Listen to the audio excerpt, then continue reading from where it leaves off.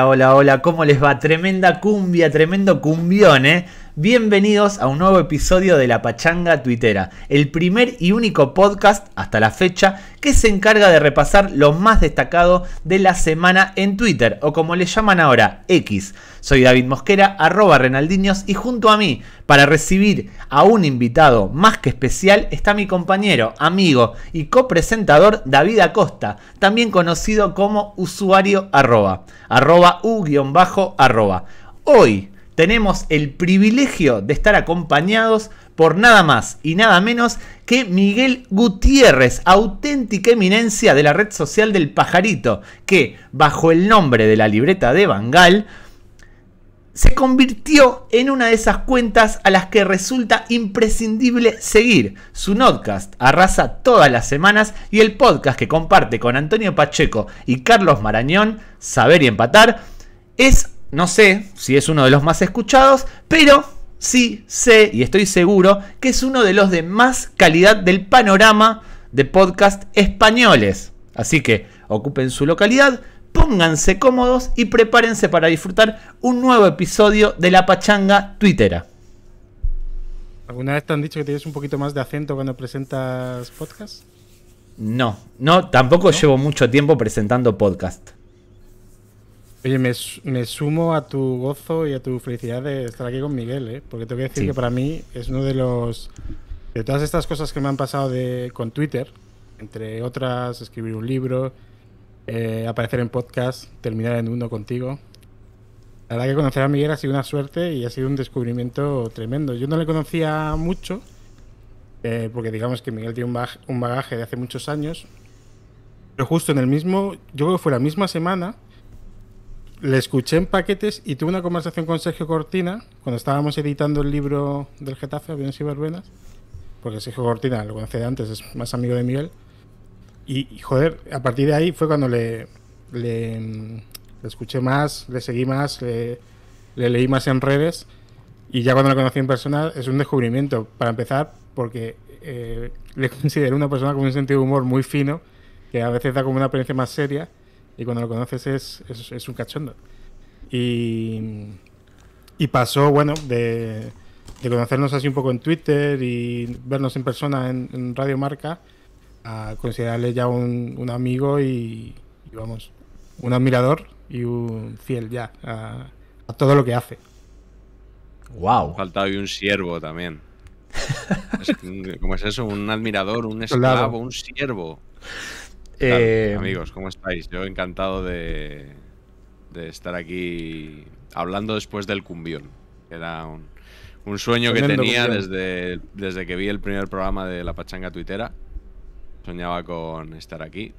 La verdad que esperaba estar antes en, en otra pachanga, que era la que proyectaba Patch para su, su programa de radio, que finalmente parece que se está retrasando un poco, la pachanga de Alcalá.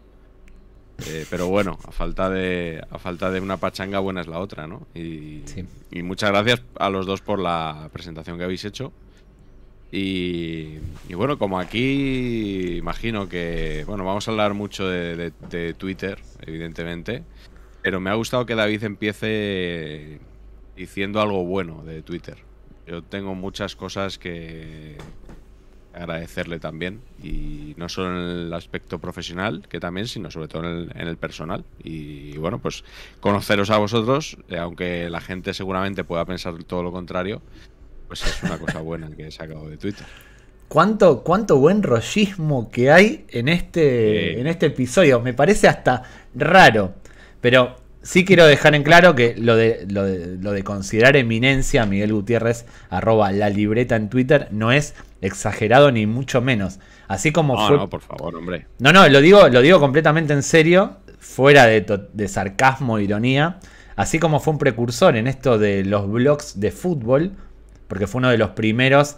Quizás no fue el primer blog de fútbol que existió, pero sí fue uno de los primeros que, que trascendió. En Twitter pasó un poco igual. Fue uno de, las, de los primeros blogs que pasaron o dieron el salto a las redes sociales y se convirtió hasta a día de hoy sigue siendo, sigue convertido en eso, en una, en una de las mejores cuentas eh, eh, de Twitter. Yo creo que es, y creo no, es la primera cuenta de Twitter que yo seguí, si bien ya lo conocía de la época de los blogs, eh, la libreta de Bangal es la primera cuenta de Twitter que yo seguí. Si hacen scroll en mis mejor no hagan scroll en mis seguidos, porque no quiero que encuentren determinadas cosas, pero es la primera cuenta de Twitter que, seguí y marca tendencia. Además, fue atravesando eh, todas las etapas de Twitter.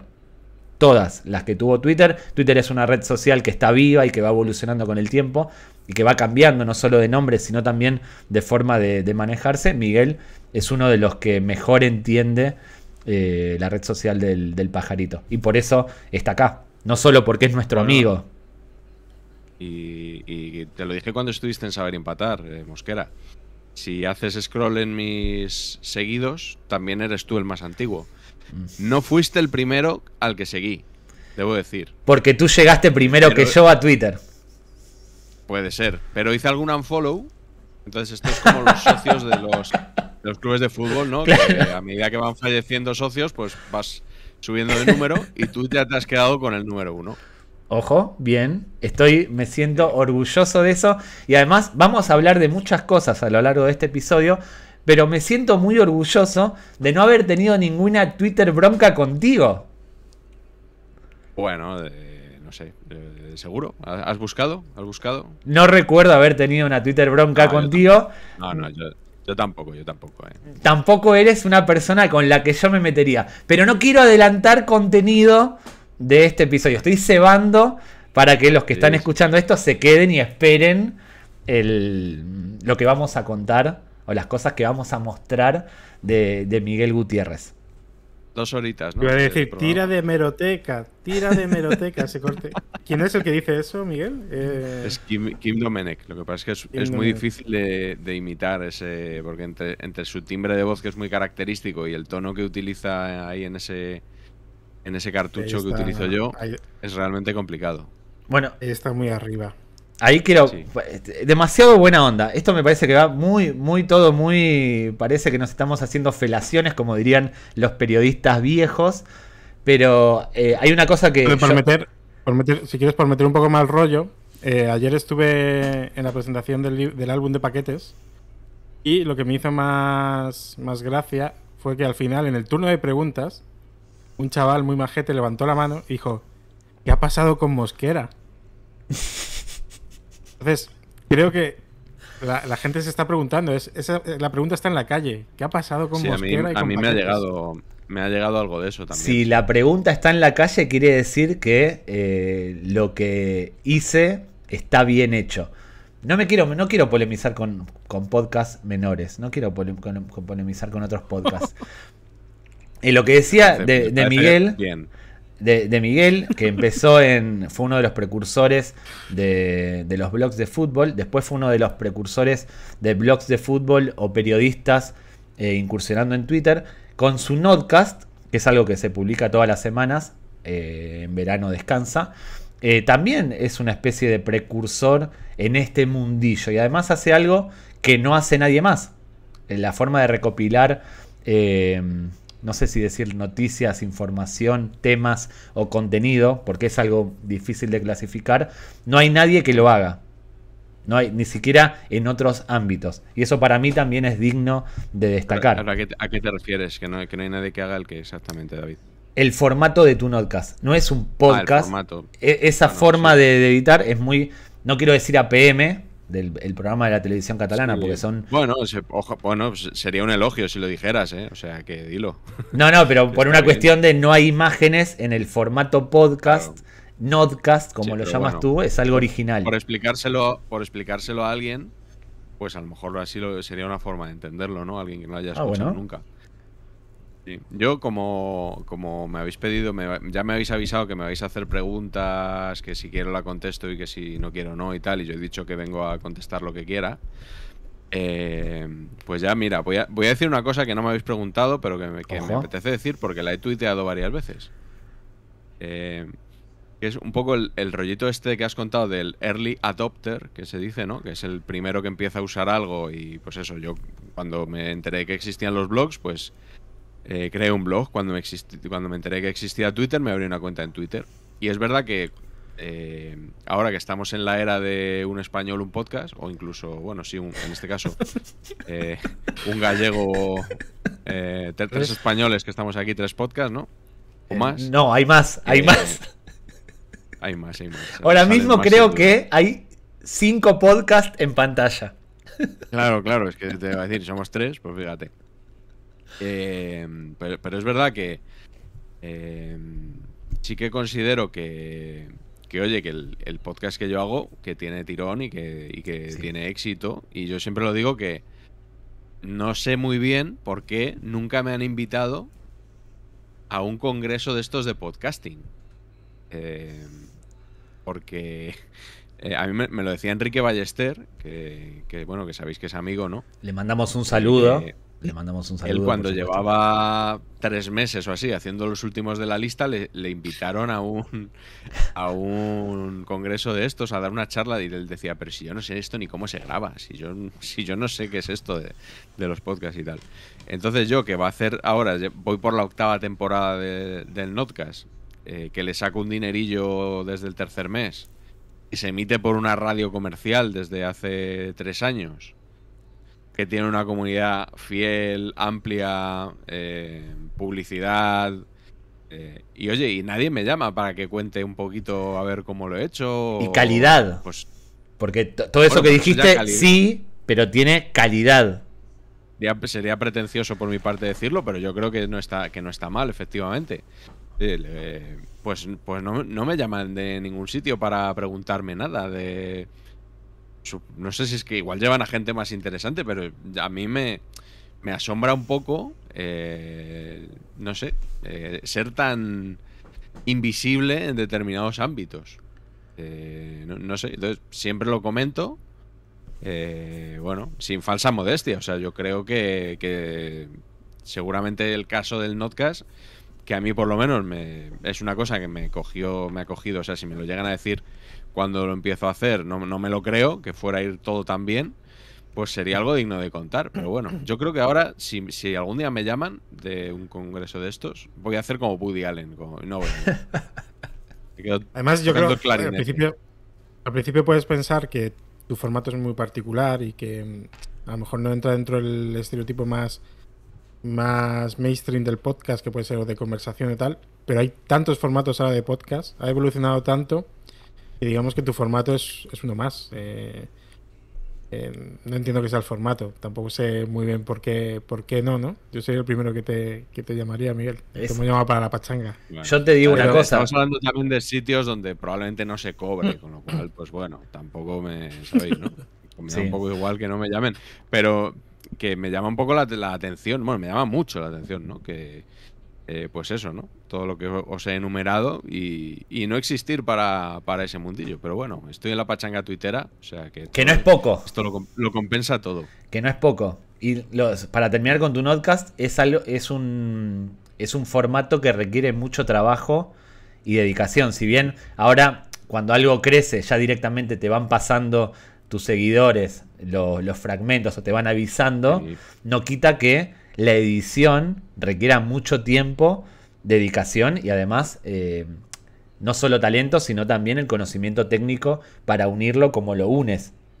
Es algo que no es lo mismo un podcast de tres tipos hablando de nada, hacer un 11 de jugadores que pasaron por la liga, eso lo hace cualquiera, hasta después puedes hacer un libro basándote en ese, en ese formato, pero lo que tú haces de preparar eh, lo que es la actualidad y resumirla de esa manera, no es nada sencillo. Como tampoco es sencillo eh, gestionar una red social como Twitter. No es, bueno, X ahora, no es nada sencillo. El juguetito de Ladio. Bueno, sorpresón en las gaunas. Bueno, pero le vamos a decir a Miguel, le vamos a explicar. Nosotros a Elon Musk le llamamos cariñosamente Eladio. Y lo sé, lo sé. Eh, ¿Creéis que no has escuchado nunca o qué? Yo sé que el, el, primero, que hicimos un piloto en el que estábamos en directo en YouTube, yo sé que tú, pasaste. Sí. Pero por eso mismo digo, a lo mejor no ha vuelto. Sí, eh, creo que eh, este es el quinto programa, ¿puede ser? Eh, sexto. Sexto. Sexto. Pues creo que he visto empezar los tres primeros y no he visto ninguno entero, eso también os lo digo. ¿eh? No son nuestros. primero. No son los mejores. Creo. Creo que va a ser el, primero. No, sé. Yo te recomiendo el, el, más largo, el 1X05 con Quique Torres, que fue el primer invitado. Eh, con mucha experiencia como community manager en redes sociales, que la verdad que estuvo muy bien. Los primeros fue para buscar el sonido. bueno, bueno que, pero tampoco tires abajo los primeros episodios. Puedes decir que no son los mejores, pero tampoco desmotives a la gente que hoy llegue a este podcast a partir de la figura de Miguel Gutiérrez. No digas que no vean los anteriores. Que los vean, que los disfruten y que entiendan un poco la búsqueda de sonido que estamos pretendiendo eh, día a día. marketing, marketing. Normalmente mi compañero me corrige antes, es decir, hoy ha sido a la media hora, pues en los primeros episodios es incluso a los 10 minutos. Bueno, Eladio, sorpresión de las gaunas, eh, hemos visto una noticia, que como diría Patch, hemos hecho periodismo de investigación, hemos hecho scroll, hemos entrado dentro de la noticia, hemos hecho scroll. La noticia es que eh, el uso de X, de Twitter, se desploma después del primer año con Elon Musk, con Eladio, al frente de la red social. Además, esto, a los que ya estábamos haciendo algún trinque, nos ha venido fatal, porque en la noticia da datos, dice que, mm, que han reducido en este último año un 50% eh, la inversión en publicidad destinada en, esta red social, en Twitter, que, me parece un dato sangrante. Eh, la aplicación se ha descargado un 40% menos en, este año, si lo comparamos con, el año anterior y el número de usuarios activos ha descendido un 15%. Yo últimamente me estaba preocupando porque, bueno, por tendencia, por evolución normal, pues el número de, seguidores va creciendo. Pero es verdad que en el último año como que se han estancado y se han estancado un poco y al parecer no es culpa de que mi contenido haya bajado de calidad, que a lo mejor puede ser también, pero eh, se debe a que hay un 15% menos de usuarios en, esta, en esta red social. Ellos se siguen, bueno, si le preguntamos a Twitter, siguen sacando pecho porque dice que hay 500 millones de personas que se conectan al menos dos veces al día a la red social, que es un, que es un número a tener en cuenta, pero está claro que el último año, pues está, digamos, nueva adquisición, aparición de Eladio, está siendo contraria para beneficio de, Twitter. ¿Tú, Miguel, has notado también ese parón de seguidores o es cosa mía solo? De seguidores míos, quieres decir, de... Sí. la verdad es que no lo, no lo miro mucho. Antes lo, sí estaba un poco más pendiente. Eh, entonces no, no te sé decir. Yo lo uso, yo lo sigo usando igual. a mí me da igual te, quiero decir, no, no igual, porque he ido evolucionando en mi uso de, Twitter o involucionando. Pero que no, o sea, el hecho de que el Adio, como le llaméis vosotros, haya comprado el juguetito, a mí no, no ha cambiado mi forma de ni de usarlo para publicar ni de, ni de consumir tampoco. Eh, yo cada vez lo uso más como seguidor que como creador de contenido. Yo tuve hasta hace unos meses eh, un uso muy activo de la red social, tuiteando todos los días varios, varios tweets, haciendo hilos, publicando cosas. Y no por el audio, sino por la evolución propia de la red, empezó a surgir mucha gente que publica lo mismo, eh, un poco como pasó con los blogs de fútbol, y en el momento en el que todos publican todo, a mí ya me deja de parecer interesante publicar lo mismo que están publicando todos. O yo publicar una cosa yo para que después me la asesinen otras cuentas, la copien. tampoco me genera mucho interés. Me pasó un poco como con los blogs. Eh, los blogs entraron en decadencia, si se quiere, aparecieron las redes sociales, yo me fui a las redes sociales y ahora que redes sociales como Twitter están un poco en decadencia, yo pego el salto, por ejemplo, a los podcasts, a usar un contenido distinto, porque ya me dejó de parecer interesante eh, la plataforma como para ofrecer ahí mi contenido. Y entiendo lógico. pedimos a las pedimos a las marcas que vuelvan a activar sus campañas en Twitter. Que de vez en cuando un trinque pues no está nada mal. Sí, pero ahora, eh, como se busca más la interacción, es como algo más forzado que orgánico. A mí desde ese punto de vista me saca las ganas. Todo lo que sea forzado y inorgánico me quita las ganas de, de participar o de formar parte. Son opiniones igual, ¿eh? no sé, es que he oído la palabra orgánico y, digo, uy, esto es muy técnico, este, este debate, no sé si estoy preparado. Te voy a robar la cartera. Te voy a robar la cartera. Ponle un cero más y ya te vuelven las ganas orgánicas y inorgánicas a pegar trinques. Bueno, más novedades esta semana. Eh, yo la verdad es que no he utilizado nunca el tema de los círculos. Pero los círculos han sido eliminados desde el 1 de noviembre. Entonces, eh, a todos nuestros oyentes nos preocupamos por ellos. Cuidado. Cuidado, porque si teníais un tweet que os comprometía un poco, pero lo tenéis para un círculo de confianza, que sepáis que los círculos han desaparecido. Es decir, puede que esté al descubierto, que estéis criticando a alguien y lo pueda ver. Es un poco. Yo no lo he utilizado. Yo entiendo. tranquila. Entiendo que era como mejores amigos de Instagram, pero nunca, ni siquiera supe configurarlo. Tampoco. Lo más viral. Bueno, lo más viral, eh, destacamos algo mm, que ha sucedido y que se ha comentado mucho durante la semana. Hoy te vas a dar cuenta, Miguel, que seguimos eh, una línea de deporte, periodismo deportivo. Eres un tío inteligente, lo, verías, pero bueno, ya lo adelanto también para la audiencia.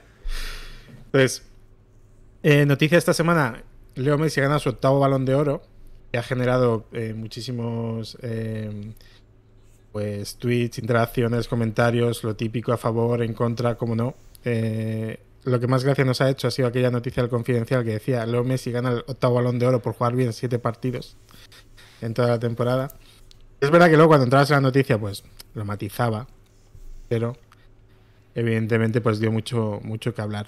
¿Qué más dio que hablar en la noticia de, no, pero Messi como? Antes de esto yo le quiero preguntar, ya que tenemos un experto en prensa deportiva, ¿Qué piensa de esta tendencia de algunos medios, como el Confidencial en este caso, que eh, baitea? Que pone estos tweets eh, donde el titular o el texto, el copy del tweet no acompaña a lo que se quiere decir la noticia pura y exclusivamente para rascar interacciones, ya sea por respuestas, ya sea por retweets o por citados. Bueno, yo era colaborador del Confidencial, durante unos meses lo fui, hasta que lo tuve que dejar por falta de tiempo. Y, es verdad que los titulares eh, tenía que mm, consensuarlos un poco.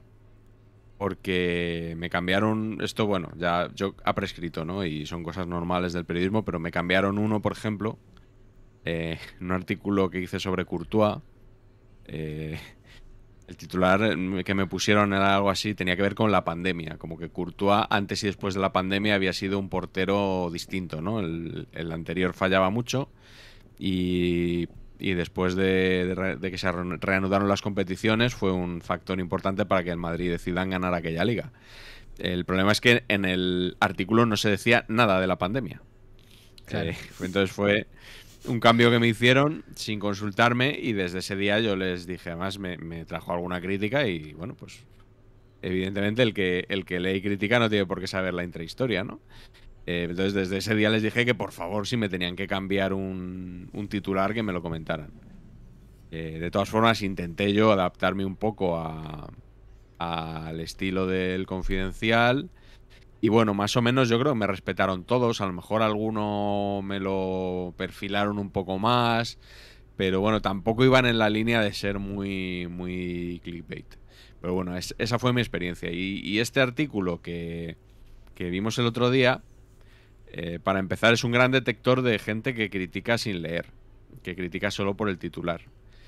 Eh, porque efectivamente el artículo es un elogio, un elogio a Messi clarísimo que contiene una opinión de que, bueno, que, Messi no necesitaba este octavo balón de oro para agrandar su leyenda. Eh, entonces es muy difícil en, un mundo como el del fútbol, donde nadie está dispuesto a pasar ni, media eh, que, tenga que ver con su ídolo, con su equipo. Eh, le sumas a eso la, un poco la ironía o, o la ambigüedad, pues claro, pues al final eso pasa que, que este titular, pues eh, hay mucha gente pensando que el confidencial está contra Leo Messi.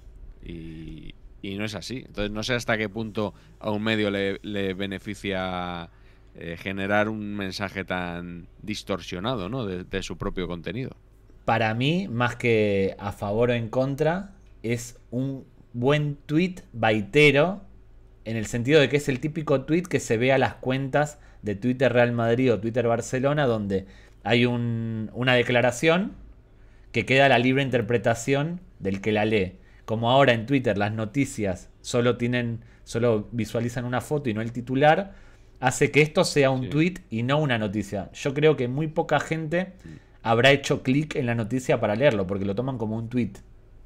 Sí, porque además. hay que ver que tiene 4 millones de visualizaciones. Es decir, si el objetivo era tener muchas interacciones, lo ha conseguido. Claro, pero ahí hay que ver. Eh, esto Miguel sabe, sabe más porque vive del periodismo. Eh, si lo que importa para. No, exactamente, David. No, no, fue medio, fue medio, fue medio, fue más eh, en cuanto a contenido.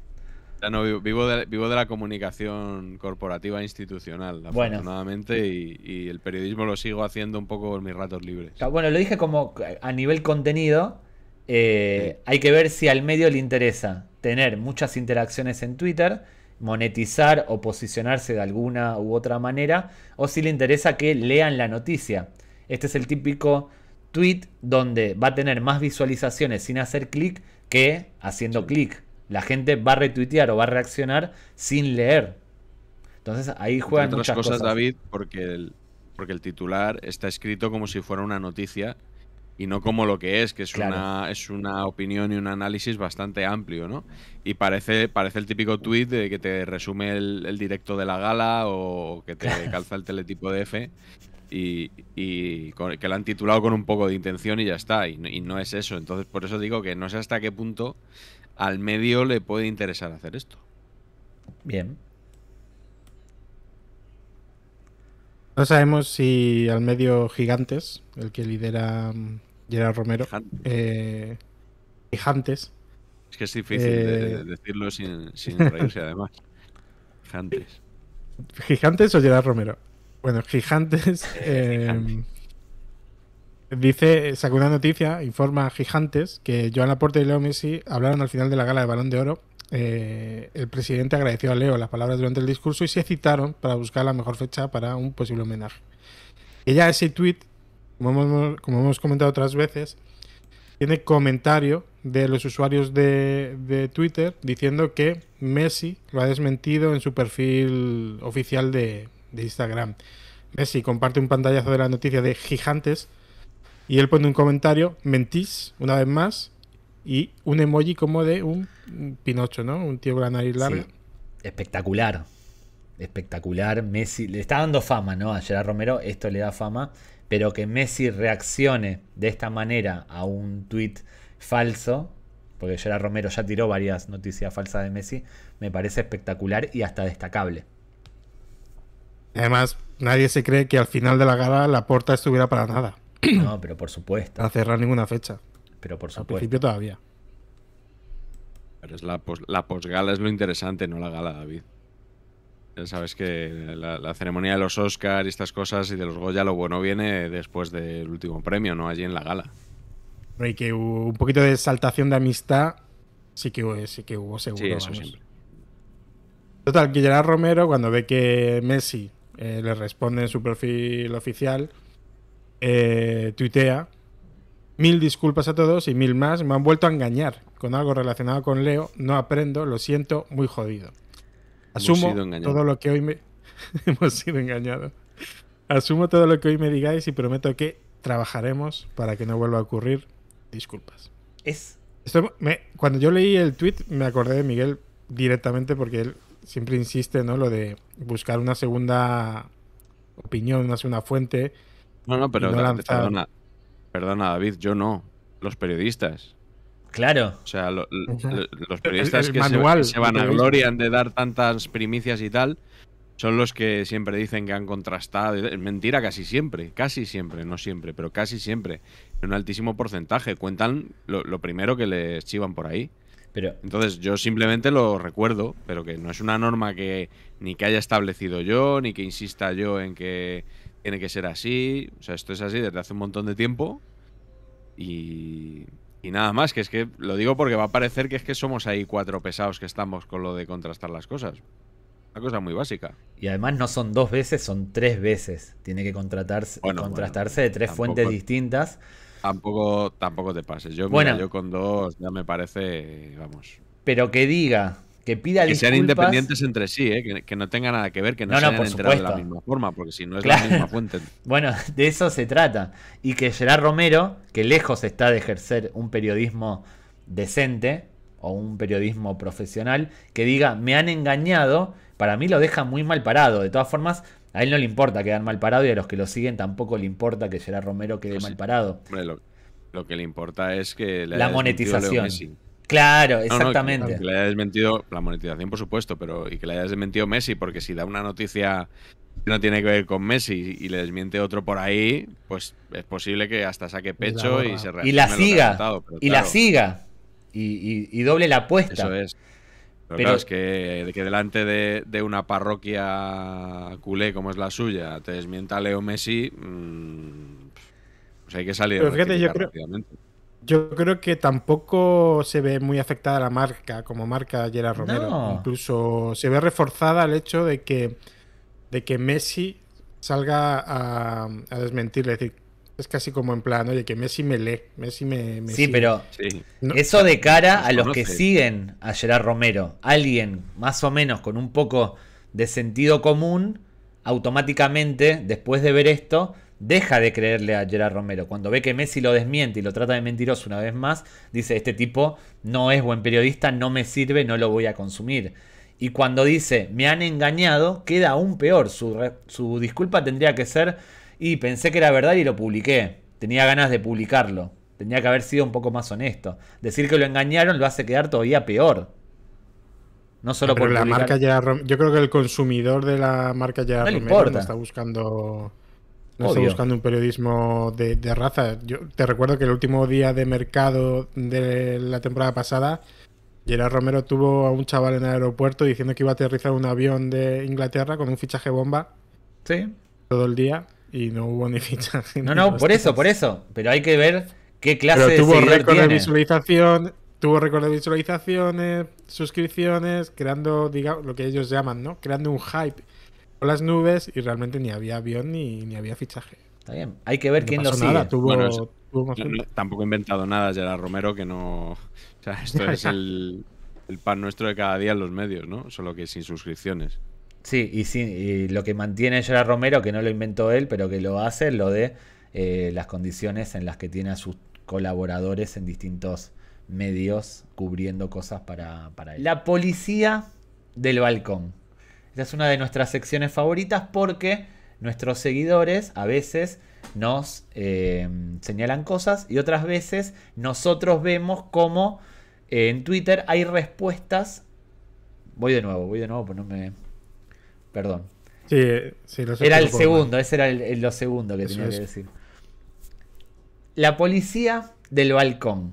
Esta es una de nuestras secciones favoritas o predilectas eh, como se suele decir, porque en Twitter una de las cosas que a mí más me molesta es ver cómo alguien, cuando publicas un tweet, arroba a una de las personas involucradas o a alguien al que le podría afectar ese tweet.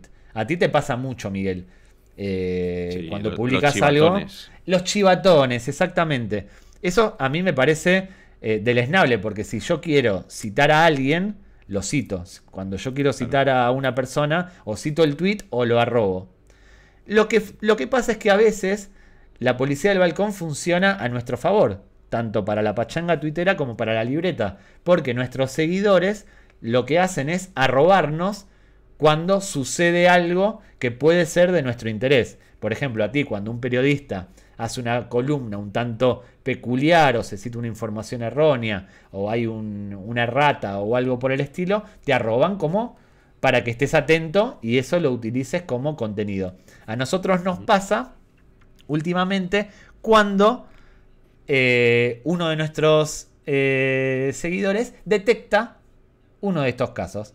Como es el caso de Colos Tuitero, al que le mandamos un saludo muy grande, que nos puso en la pista de una usuaria, Tatiana López, que ante uno de esos anuncios que se están viendo mucho en Twitter, ya vamos a hablar de él, eh, arroba al país para decirle que cree, creo que con este artículo que se falsea vuestra web y que pone la firma de vuestro corresponsal merece un vistazo. Es decir, le avisa al país que se fije en un artículo de otro medio. Y con los tuiteros nos arroba diciendo, ojo, hay un policía del balcón aquí. Y no lo hizo una vez, sino dos veces.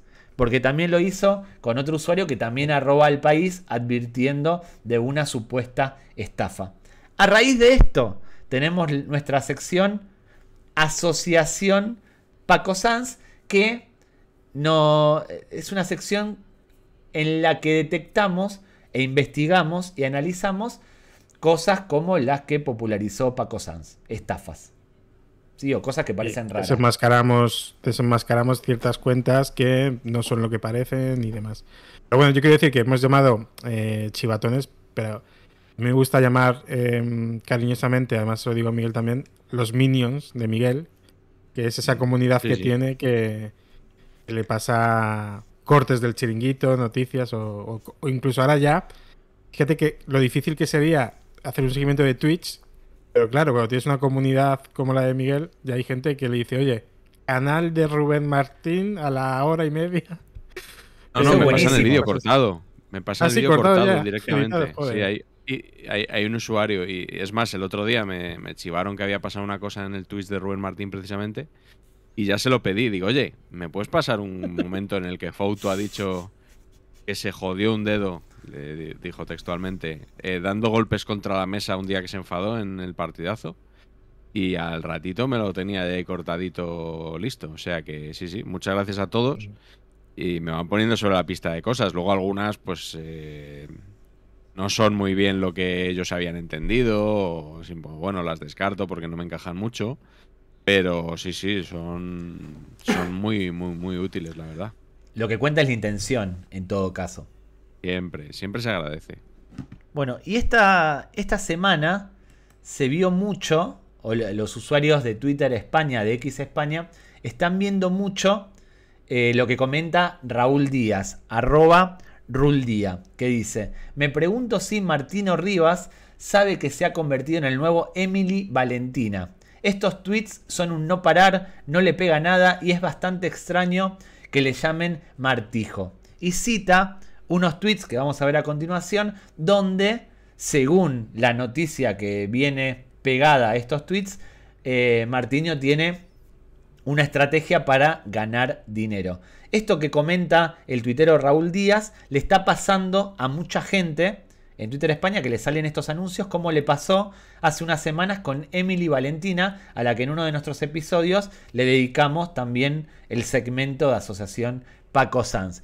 Y los tweets, ahora vamos a hablar, vamos a entrar con, con un poco más de profundidad, son de este estilo. Hay una noticia de páginas web eh, randoms o aleatorias con usuarios de Twitter diciendo tecnologías que han pasado desapercibidas durante años y una imagen de Martiño que dice en su intervención en la resistencia se refirió a los elementos que le dejaron una fuerte impresión en sus primeros intentos. Obviamente uno ve esto eh, y hace clic para saber de qué es lo que está hablando, es lo que pretende el, el, el byte. Otro tweet, información bajo llave, secretos que no todos deberían conocer.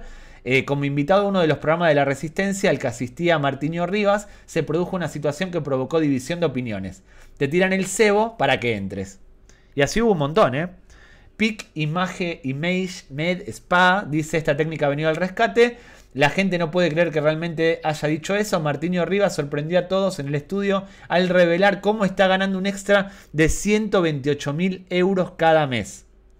Yo no hice clic en ninguna de estas noticias, están desperdigadas por ahí, pero toda la gente se está quejando de que en anuncios de Twitter les está apareciendo esto.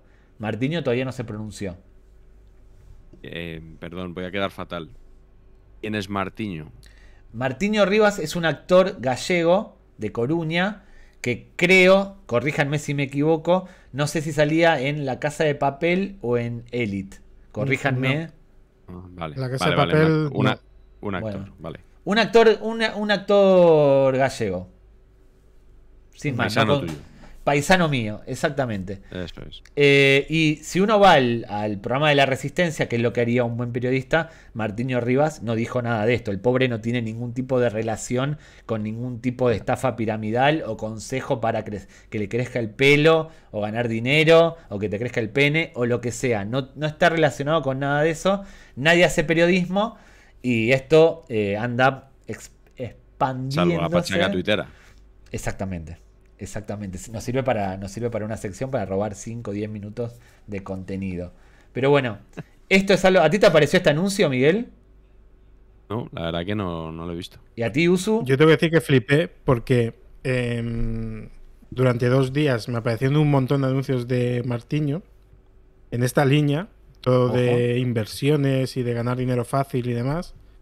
Pues yo creo que fue justo el mismo día que también nos arrobaron y nos, nos dijeron y en otra cuenta, porque ahora entre la pachanga, la mía y tal, en otra cuenta me apareció en paralelo lo mismo con Antonio Resines.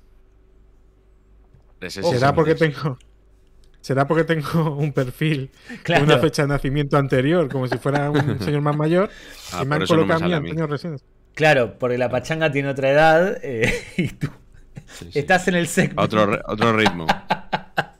Claro, claro. Eh, y era una noticia rollo Antonio Resines. Durante uno de los programas, Antonio Resines dejó atónitos a todos con su historia, en la que una vez apenas creyó. Yo estoy en el segmento de Martiño y tú estás en el segmento de Antonio Resines. Sí, sí. Y, siempre la misma técnica. Son cuentas verificadas que intentan dar una imagen de mm, oficial, de información veraz con una, con, con, una foto del actor o una foto del actor en la resistencia, que parece una noticia que muchas veces se publican al día siguiente después de estas entrevistas de estos programas, y con ese gancho de que o hay algo que no te dicen, que mm, algo raro tal, o que está ganando dinero. Al final, rascando un poco, bueno, sigue, no te quiero hacer spoiler. No, no, esto... Este es el principal problema hoy de las cuentas verificadas de Twitter, que antes no sucedía, es que hoy cualquiera puede tener la cuenta verificada. Antes el verificado era una especie de certificado de seguridad de, esa cuenta. Era como, no cualquiera tiene el, verificado, si te está diciendo algo, eh, lo puedes tomar más o menos en serio. Con el tiempo obviamente eso se fue desvirtuando. Muy, muy al principio, David, eh, no, no se podía verificar cualquiera, era Twitter el que contactaba a determinados usuarios y les ofrecía la posibilidad de, verificarlo con una documentación y tal. Sí, aunque con el paso del tiempo empezaron a verificar a conocidos, a, gente de, de, aquella manera. Igual, a mí lo que me llama la atención de Martiño no es esto, que esto claramente es una estafa, pero hace poco fue viral por aparecer en el hormiguero con una camiseta del Deportivo. Lo que a día de hoy me parece, un, me parece un tanto más peligroso que el otro tipo de estafa, porque hoy ser del Deport no es nada agradable ni, ni, mucho menos. Simplemente Yo, yo, yo, esperaba que tuvieras un cierre rollo, oye, esto es una estafa, cuidado, eh, están las criptomonedas detrás, y tu, tu cierre, tu chiste era con el Deport. Sí, sí, sí, sí, sí. No, porque tengo una pequeña cruzada. Yo simpatizo por el Deportivo de La Coruña, pero tengo una pequeña cruzada con amigos y con conocidos deportivistas que ante el mal presente que tiene el equipo se aferran al poder de la afición y yo sostengo que la afición no gana partidos, la afición no consigue ascensos, que mientras estén más preocupados por eh, hacer un tifo, alentar en la derrota y demás, el equipo no va a salir del pozo en el que se encuentra tengo una pequeña cruzada y hacer eh, ostentación de, afición, para mí le resta poder deportivo al Deportivo de La Coruña. Es una cruzada que tengo. Esto, esto ahora, si aspiras a que te contraten en una radio, tienes que decir, es una pedrada que tengo. Es una. Sí, es Como se dice ahora. Es un lugar común, sí. Es un. Sí, es una pedrada. puedes decir, esto es un porro esto es un porro, tal, y luego dices, no, yo tengo la pedrada de... y cuentas esta teoría rara. Para... No, no es rara la teoría. No es rara. Vivo en un país en el que se hace culto, se hace culto de la hinchada. Y cuanto más bola se le da a la hinchada y menos al equipo, es peor para el equipo a nivel deportivo. Esto es una máxima, no es una pedrada, es una máxima. Está completamente chequeado. Como Gerard Romero chequea sus fuentes. Dicho todo esto, que estamos hablando de timos, delincuencia informática o de cualquier tipo de banda criminal, y el giro no haya sido hacia el Getafe y sí hacia el Depor, es, algo que me alegra, oye. Ronda relámpago. Fium, fium, fium. Ronda relámpago. Esta no te la has visto venir, eh, Miguel. Este. No sabía que había efectos de sonido, están bien integrados en el programa. Sí, los relámpagos no hacen, no hacen sonido, pero bueno, viene el trueno después del relámpago, pero bueno, hay que, hay que meter un poco de, efectos. Sí, sí, sí. Bueno, Miguel, como, como tío que lleva en Twitter desde que se tuiteaba en, el barro, gente que hacía retweet manual de este... Eh, los tweets cuneiformes. Madre mía. Qué épocas, ¿eh? Vivíamos como, como salvajes. Te vamos a hacer siete preguntas, que se supone que son preguntas rápidas, pero, oye, te dejamos si alguna la quieres explicar eh, tú mismo, ¿eh? Puede haber repregunta. Pregunta. Puede haber repregunta. Siete como los días de la semana que en este nuestro podcast semanal. Vale. Número, Número uno. Bloquear o silenciar. Ahora silenciar. Bueno, yo es que te he escuchado muchas veces. Te he escuchado una vez. Sí, ya lo he contado, ya lo he contado muchas veces. Es que básicamente que antes, si bloqueabas, el bloqueado podía exhibir como un trofeo de caza tu bloqueo. Y ahora simplemente lo, lo silencias y ya está. ¿Está bien exhibir como trofeo el bloqueo? Mucha gente eh, lo hace, sí. no, digo si está bien, no si lo hacen, digo si está bien. Ah, no, me parece una idiotez, pero pero claro, luego está muy bien decir, y me ha bloqueado por porque no aguanta la crítica. Oye, o a lo mejor la has bloqueado porque te ha insultado. Cuando alguien dice eso. Sencillamente porque no quieres aguantarle más, ya está. Yo cuando alguien, cuando leo en Twitter, porque hay mucha gente que hace ostentación de los bloqueos, cuando, cuando alguien dice, me bloqueó por tal cosa, lo primero que hago es ir al buscador, poner los dos arrobas y ver la última interacción para ver por qué lo bloqueó. Y generalmente no coincide la versión del bloqueado con, el último tweet o el motivo. Así es. Pregunta número dos, aunque es verdad que exhibir un bloqueo pues es algo que incluso ya se ha quedado un poco, ya no tiene gracia. Pero todos tenemos un bloqueo que nos han hecho que nos sentimos orgullosos. ¿Cuál es el tuyo? Pues a ver, yo tengo periodistas que me tienen bloqueado. Eh, pues voy a decir Pedrerol. Pedrerol porque él durante una época no solo, o sea, me seguía incluso y me aguantó mucha, muchas críticas siempre. Hasta un día que hice una encuesta que no le gustó y ese, ese día sí me bloqueó. ¿De qué era la encuesta? La gota que colmó el vaso. Pues la encuesta era... Eh, eh, alguien, alguien preguntó, no sé si era Bertele, un canal de estos de... Mm, preguntó, ¿es objetivo el chiringuito? Y entonces se metió Pedrerol por medio y dijo, la objetividad no existe, amigos, eh, existe la honestidad. y entonces yo, yo dije, eh, venga, vamos a reformular la encuesta. ¿Es honesto el chiringuito? Y eso me, eso me costó el bloqueo. Un muy buen tweet. Y te hago una repregunta. ¿Devolviste el blog? Eh, como si devolví el blog. Si él me bloquea, yo no le puedo bloquear a él. Sí le puedes bloquear. ¿Sí? Sí. sí. Pues me voy a llevar un concepto nuevo. ¿Hubieses devuelto el blog? ¿Le hubieses devuelto el blog? Eh, no, no, no. Sí, porque si, me levantara si me levantara el veto yo lo volvería a seguir. Ok. Yo te digo esto. Eh, perdón, De hecho, ah. de hecho, hay periodistas que me tienen bloqueado en Twitter y los tengo en otras redes sociales, yo creo que sin que ellos lo sepan. Claro. Porque en Instagram es como menos. Eh, explícito el seguimiento. Yo te, digo un ejemplo, te, digo por qué lo de devolver el bloque o no. A mí me bloqueó Chilabert. José Luis Félix Chilabert me bloqueó por poner una foto de, un golpe que se llevó en la cara a manos de, de Rivadero, un jugador de, San Lorenzo, y yo le devolví el blog. ¿Por qué le devolví el blog? Porque él me, puede, me podía ver igual y siempre que dice una burrada, que es algo que sucede prácticamente todos los meses, se viraliza un video que subí hace muchos años donde Menotti lo critica diciendo que lo tienen que pasear por todas las escuelas para mostrar cómo era el hombre hace 40 mil millones de, años. Lo trata como un cavernícola. Entonces siempre se viraliza y como toda la gente lo arroba cuando dice una burrada como mira este video, hacen de, hacen de policía en el balcón, yo dije, no, no, no, si yo no puedo ver los tweets de Chilaver, él no puede ver los míos. Lo mismo me pasa con Santi Noya, que me bloqueó por lo de Saviola es mejor que Zidane. Yo le devolví el blog porque siempre, todos los años que publico ese tweet, lo arroban. Cada 7 de julio, cada 7 de julio. Exactamente, lo tengo programado ya para el año que viene. Eh, lo, lo, arroban y no quiero que vea lo que yo publico. Si él no me deja ver lo suyo, yo no quiero que él vea lo mío. Era por eso la pregunta. Bien, bien, bien. Muy bien. Tercera no pregunta. es muy relámpago, ¿eh? Esto. No, y bueno. Es tormenta. Tercera pregunta es si el unfollow se devuelve. Hemos visto que el blog no sabías que se podía devolver, pero el unfollow se devuelve.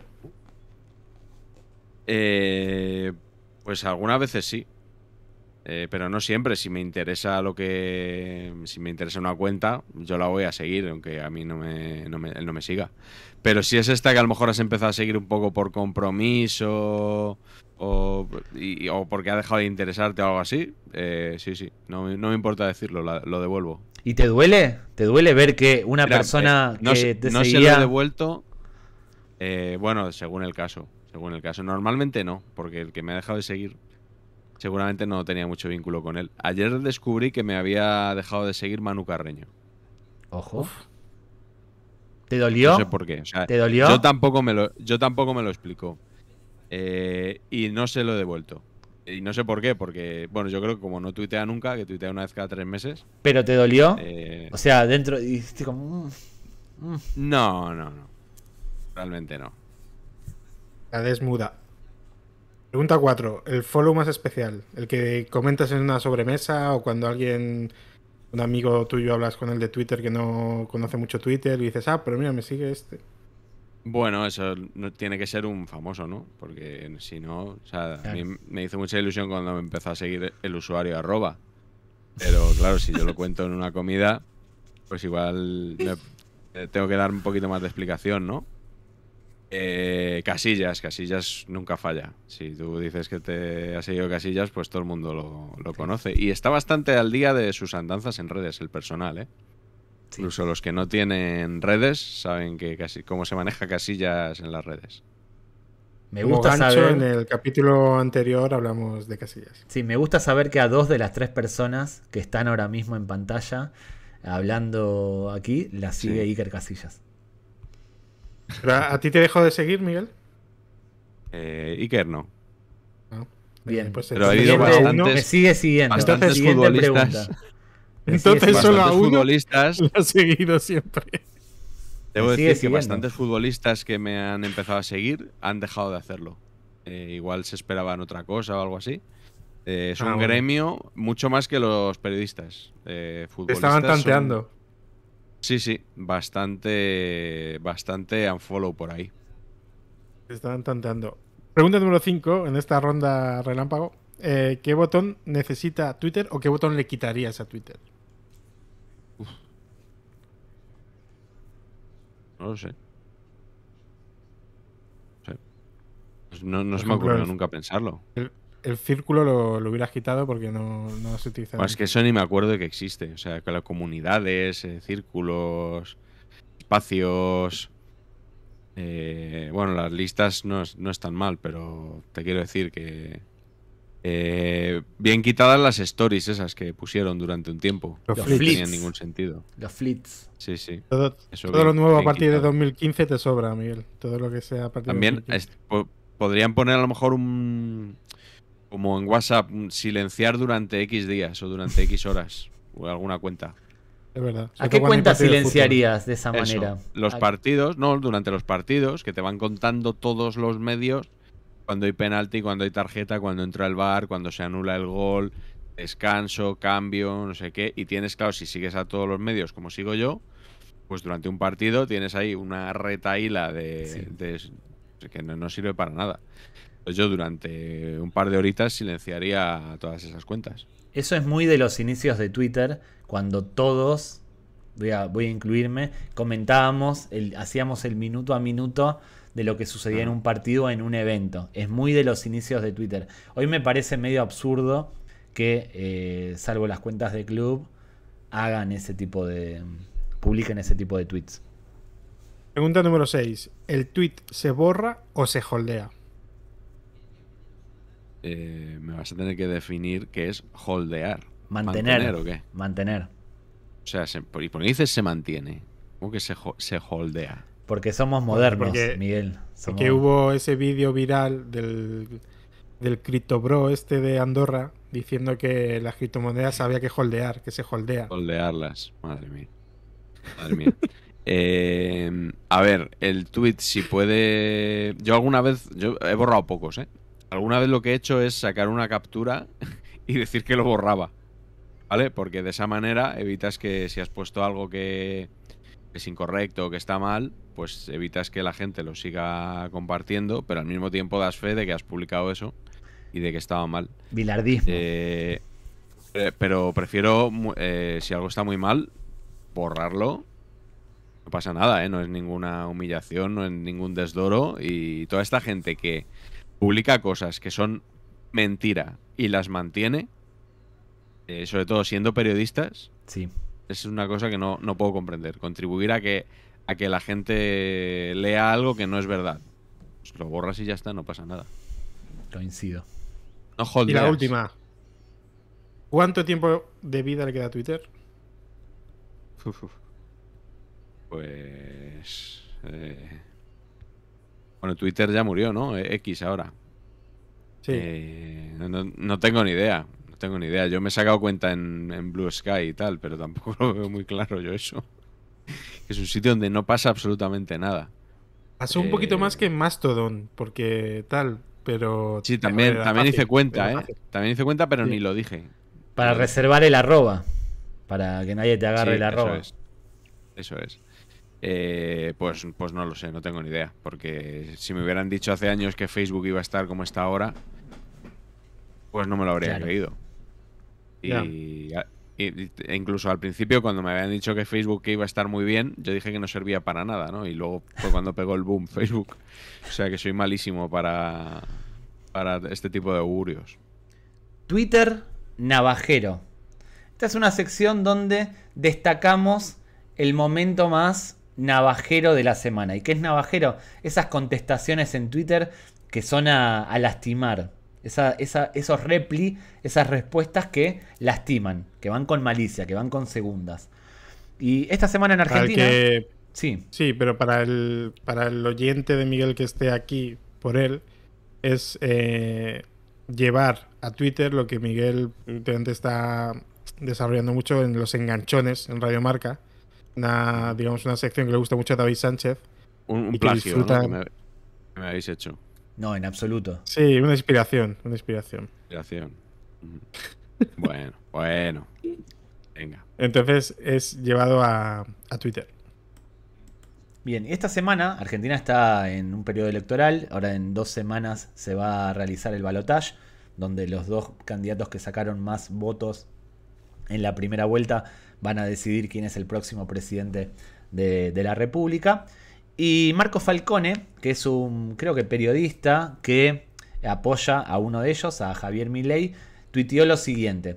Mi mamá se operó de los ojos hace unos días y recorrió 11, 11 farmacias hasta encontrar las gotas que necesitaba para el posoperatorio porque no hay stock en ningún lado. La Argentina de la escasez y el caos es la de hoy. Este es el país del presidente de facto, presidente de facto, Sergio Massa. Acá hay que hacer dos aclaraciones. La primera, Sergio Massa no es el presidente de Argentina, es el ministro de Economía, candidato así a ser elegido presidente. Y el tuit de Marco Falcone eh, tiene una intención ideológica para eh, busca apoyar a Javier Milei. Que la madre, espero que no, eh, esté padeciendo lo, lo, que padece, habría que chequearlo, habría que ver si es verdad o no. Mayra Arena, que es una tuitera con bastantes seguidores en Argentina, arroba arena Mayra OK, eh, citó ese tweet y puso, el hombre que más se ocupa de su madre convaleciente. Tiró a lastimar, pero uno puede entender qué es lo que quiso decir. Eh, no hagas recorrer a tu madre convaleciente eh, la ciudad visitando 11 farmacias. Es una locura. ayúdala, si no puedes ir tú, trata de que vaya acompañada por alguien. Si tu madre, de hecho, no, no puede ver, que, que vaya alguien con ella. Y él le responde, estaba a 400 kilómetros con mi novia que había salido de un trasplante de médula ósea porque tiene leucemia. La reputísima madre que te parió. Está la contestación de él que usa ese recurso que cuando somos pequeños decimos, no, no, no insultes a mi madre, que mi madre se murió como para generar lástima o lo que sea. Bueno, él usa a su novia. Y esto podría haber quedado en un intercambio donde Mayra hace un comentario que puede ser hiriente en el caso de ser verdad lo que dice Marcos. Y Marcos le responde insultándola, tirándole también un comentario para hacerla sentir mal. Mi, novia tiene un problema de médula ósea, toma, te lo tiro para que te sientas mal. Podría haber terminado ahí, pero no. Eh, Mayra Arena sube la apuesta y le dice a Marcos, le contesta, uff, capaz que el piedra sos vos. Piedra en Argentina es gafe. Qué bueno que en este país los trasplantes funcionan. Si gobernara tu candidato, Javier Milei, estarías en problema. Saludos. Ella cierra el intercambio, subiendo la apuesta y dándole donde duele. lo tilda de, mufa porque tanto la madre como la novia eh, están convalecientes de sus respectivas enfermedades. Podría haber terminado acá, el intercambio termina acá de hecho, pero tuvo muchas, muchas, muchas interacciones y muchos insultos, Mayra Mendoza. Una le puso, el, usuario arroba ópera rosa, le puso, no solo sos un asco de persona, estás podrida por dentro y el karma se va a encargar de vos. Basura. Y Mayra Arena, que es una persona a la que le gusta bajar al barro y tirar navajazos, le dice a Nadina, no existe el karma, hippie de mierda. Como para que la dejen de, de atosigar con esos insultos. Esto es un intercambio... Se entiende mejor esto que lo de holdear, ¿eh? Sí, ¿no? este eh, tipo de lenguaje es más claro y más directo. Clarísimo y representa muy bien la sección.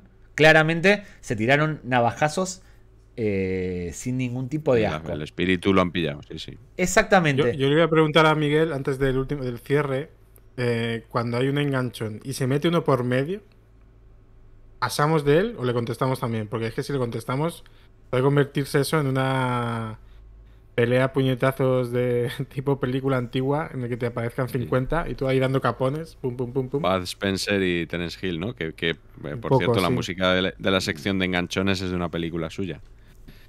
Eh, y si no nos enfadamos, sí. Eh, bueno, a ver, ¿hasta, hasta dónde tiene uno ganas de... Ya que se tira al barro, pues, pues repártele a todo el mundo, ¿no? De, para mí depende de quién es el que se mete. Si es un NN que no conoces y te da absolutamente igual, pasas. Pero si es alguien. Dos opciones. Si es alguien conocido que oh, mm. te, puedes descargar porque tienes más conocimiento del rival y puedes tirar un navajazo a lastimar, sabes más o menos cómo se mueve y se la puedes clavar. O, o eh, si le tienes ganas. Si es un tuitero de estos que conoces y que no te cae bien, aprovechas y que lleve también. Y esta, esta sección nos sirve de introducción a la que para mí es una de las mayores virtudes del Miguel Gutiérrez tuitero. Para mí, si algo tiene Miguel, entre todo lo que le destacamos al principio del episodio en la presentación, es que es un gran navajero.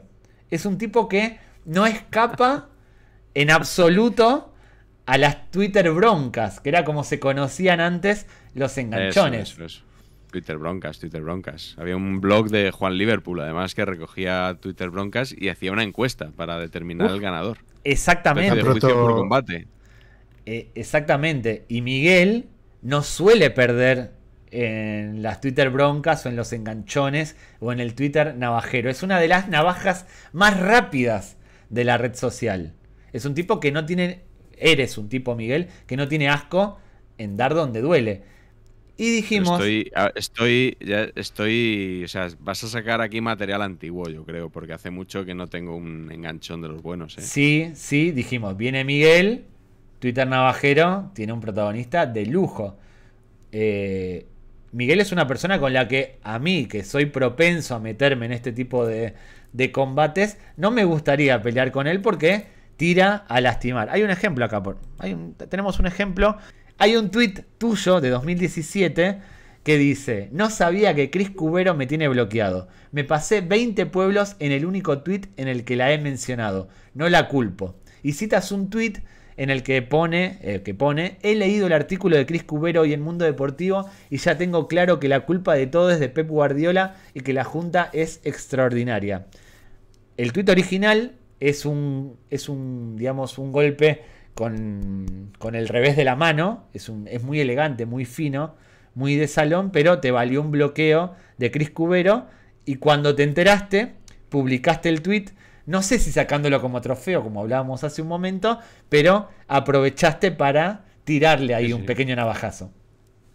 Mm, desde aquí, si Cristina Cubero nos está viendo, eh, quiero decirla que, que bueno, que el, el tweet de 2015 era realmente duro y que si la E, que esto hay que decirlo siempre que pides perdón, que si se ha sentido ofendida, que le pido disculpas. Pero fue, fue los dos, los dos tweets, el, original y el citado, son a, a, doler, son a hacer, ahí a, pinchar. Pero es lo que tú dices, es un poquito de... O sea, pero duele más. Pero con el revés de la mano duele más que un puñetazo, porque es como con desprecio, es como con. No, no, no. Con asco. Psicológicamente, ¿no? Psicológicamente duele más. Yo prefiero que me des un puñetazo y que me tumbes a que me des un bofetón con, la, con el revés de la mano. Ya, ya. Además hay que decir para, el que lo, para el que lo esté escuchando que en los tweets de Miguel menciona a Cristina Cubero con el arroba Cris Cubero. Claro. Para que no haya policía del balcón y que avisen a Cristina Cubero que está hablando de ella, él ya la menciona para que si lo tiene que leer, que lo lea de primera mano.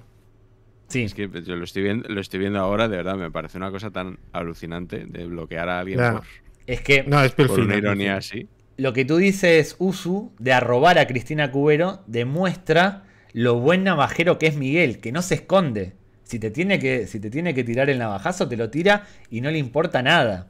Hay otro ejemplo. Tenemos otro ejemplo.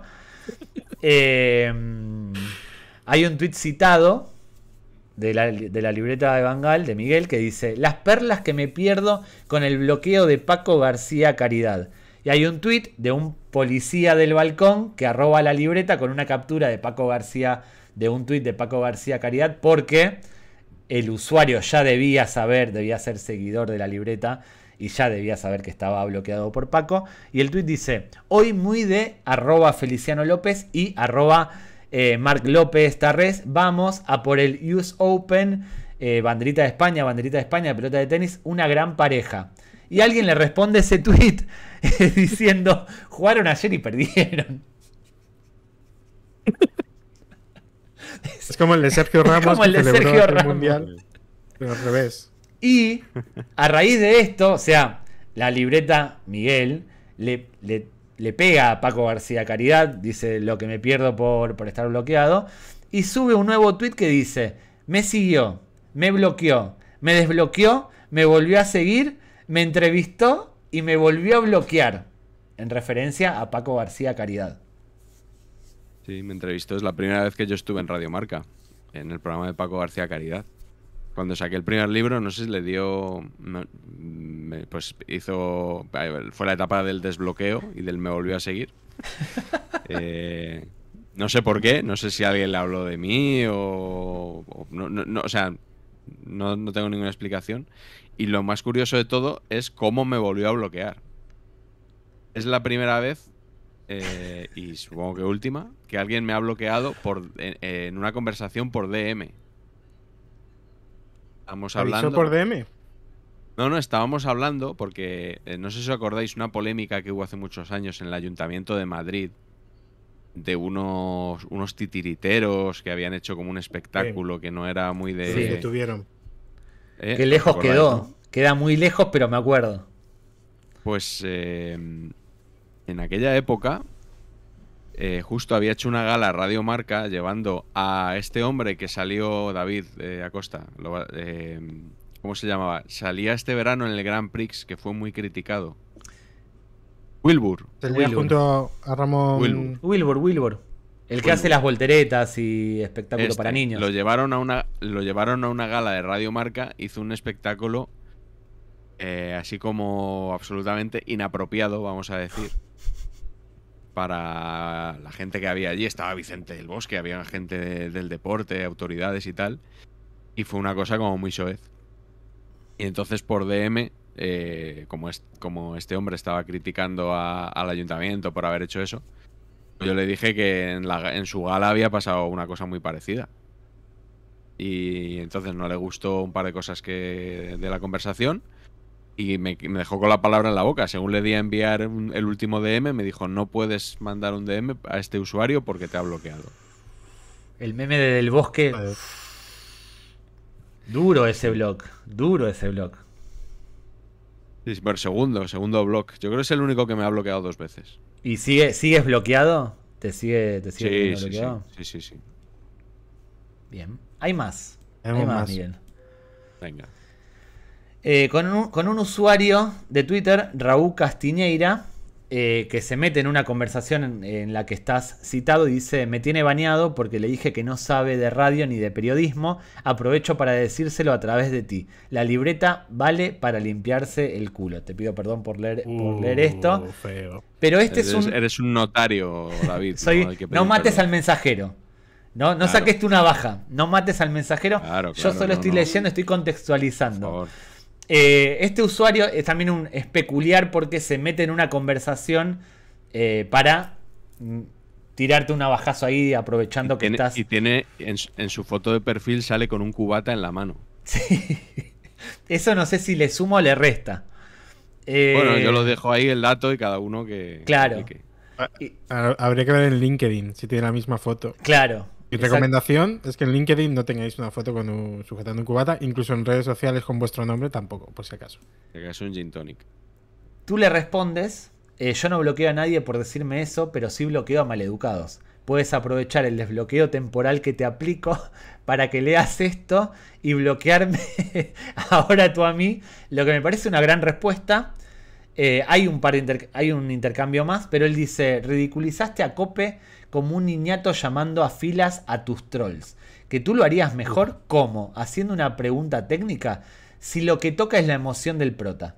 Te hace, están, eh, viene de la conversación y tú cierras el intercambio con entre lo que estás contando ahora y la realidad hay tanta distancia como entre tu versión del bloqueo y las capturas que he puesto.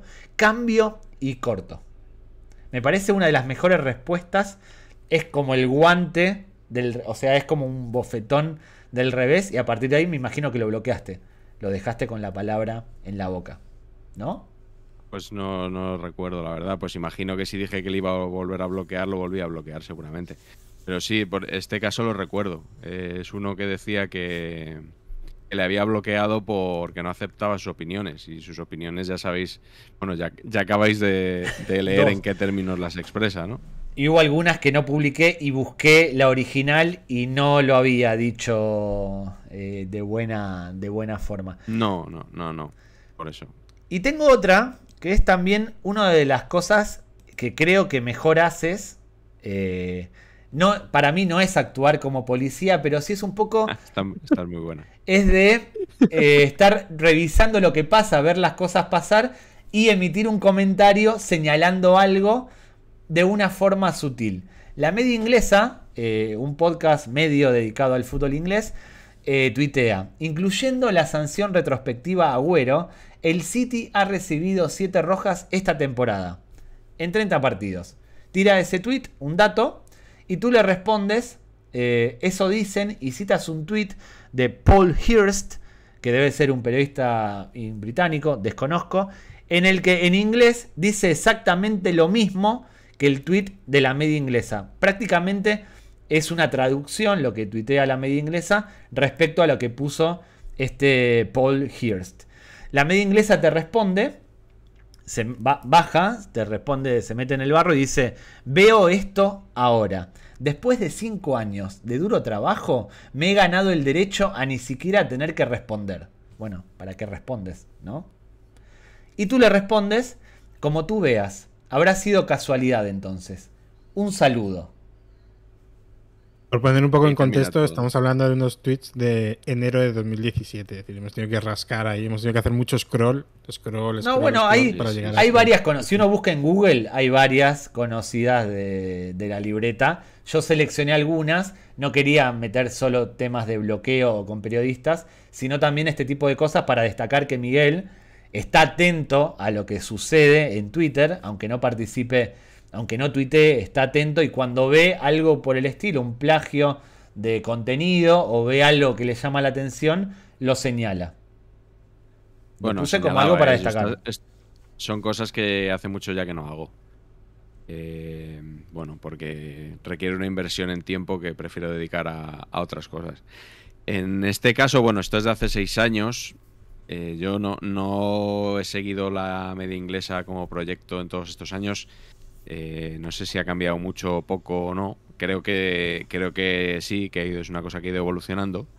Pero es verdad que en aquella época era bastante común eh, que publicara esa cuenta, publicara datos que aparecían en otras cuentas antes, sin citar ningún tipo de fuente. Y bueno, pues ese día llamé la atención simplemente de esta forma breve. Eh, pero bueno, y nada más. O sea, fue, fue un, tweet, un tweet, pues eso, llamando un poquito, la, un poquito la atención y pensando, pues oye, si de esta manera se cortan un poco o citan a alguien, pues mira, mejor que mejor. No sé si lo hicieron o no. ¿eh? A mí, este, este tipo de cosas a mí me sucede. Eh, de hecho, lo suelo compartir con amigos y demás en, por WhatsApp. Yo soy una persona que tiene bastante memoria. O sea, si veo algo, eh, me acuerdo. Y me sucede cada vez más que el mismo tweet o la misma noticia aparece publicada por 10 cuentas. Hace 6 años no eran 10 cuentas las que usaban este recurso de copiar, de plagiar, pero a mí siempre me llamó la atención como ver la noticia en un lado y automáticamente cuentas de Twitter de este estilo, de, contenido de nicho, replicarlas, sin citarlas. Y eso está feo. Está feo utilizar lo que hace otro traducirlo y publicarlo como tuyo. Empobrece un poco lo que es la red social y así está Twitter hoy, donde todo es copia de copia de copia. De todas formas, este intercambio no quedó ahí, porque eh, te responde la media inglesa, casualidad o no, usamos la misma fuente y tú, que no te dejas llevar por argumentos eh, del tipo infantil, le respondes, ah, vale, como no la habéis citado ninguno, me habré eh, liado. Saludos. Y Marco, que es un titero arroba guion bajo EMMEGI, termina la cuestión diciendo, bueno, le ha fusilado el tweet, pero lo ha traducido. Algo aporta. Como para diplomáticamente terminar un intercambio en dos cuentas que son referencia en Twitter de España. Mm, bueno, eh, podría haber sido peor ¿eh? esto que habéis rebuscado. No, había peores, pero tampoco quisimos eh, quizás el tono. No, no, quisimos mencionar, no quisimos ir al lugar común de gente que te saluda desde la primera clase de un avión en un vuelo nacional. No quisimos ir a, ese tipo de lugares. Al, revés, fui yo el que, el que gritó desde la última fila. Ah, cierto. Me, había olvidado de ese detalle que tú ruegas saludos desde la última fila de. a mí jamás me habrían conocido si no, si no me identifico desde, desde tan lejos. Claro. Chimoneas, seal o seal of approval. Sello de aprobación de Chimoneas. Yo creo que Miguel tiene controlado a Chimo, que es un tuitero genial con sus juegos de palabras. Sí, sí, Lo conozco, lo conocí un día hace, hace mil años en el Bernabéu. Eh, que él, iba al, él iba al partido, yo no. Eh, pero queda, eh, quedamos allí como varios de los de diarios de fútbol y estaba Chimo con una una chaquetilla de Túnez, diría yo, de la selección de Túnez. Puede ser. Es probable porque tiene ropa de, fútbol de todos los equipos del mundo. Sí, sí. Tipazo Chimo. Tipazo total Chimo. Tipaza total Mónica. Eh, aprovecho para mandarles un saludo a ambos que han estado en mi casa, han comido en mi casa. Eh, se ha quedado a dormir alguna vez de, necesitarlo. Les mando un saludo eh, total. Dos tipazos. Dos tipazos completos. Muy bien, pues hemos tirado de prensa deportiva para dar el premio Chimo esta semana y hemos utilizado un tuit del Sport que ya hace años hizo algo parecido de un como de un once inicial de futbolistas terrorífico aprovechando que ha sido Halloween. Y, yo creo que este, que este 11 lo ha hecho Chimo. Creo que el Sport se ha puesto en contacto con él.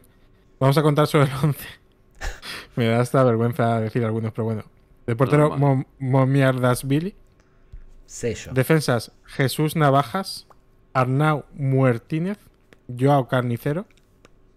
Dentro del campo para Aurelien Tumbamení,